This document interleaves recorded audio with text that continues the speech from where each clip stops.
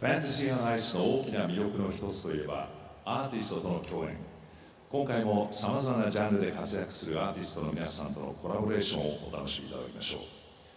まずはじめは昨年のファンタジーアイスにも出演しその素晴らしいピアノの演奏で魅了した若きピアニスト福間幸太郎さんの登場ですクラシカルなものからコミカルなもので幅広い演技力が魅力のこのスケーターとのコラボレーションをご覧いただきましょう。信成オーダー and 幸太郎福間曲はリストの愛の夢。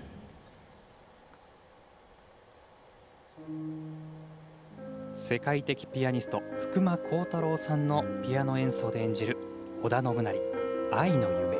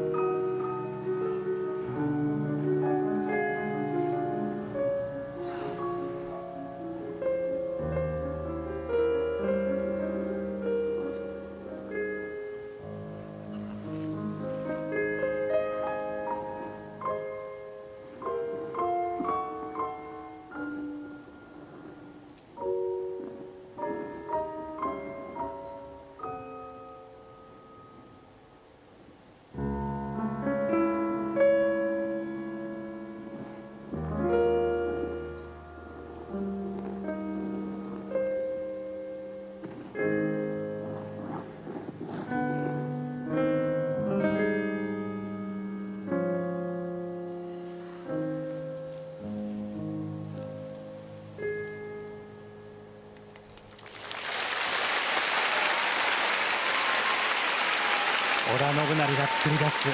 優雅な時間でした。多くのスケーターに愛されてきたこの曲を本当に生演奏でこうして滑れるというのは選手にとってもあ選手というよりスケーターにとっても本当に嬉しいことだと思いますしまたもう信成さんの感情が存分に乗っていましたね。大観衆がスタンディングオベーションです。本当に現役選手さながらのハイレベルのプログラムでしたよね。ピアノの音そして織田信成のスケーティングの音。本当に音が響き渡る優雅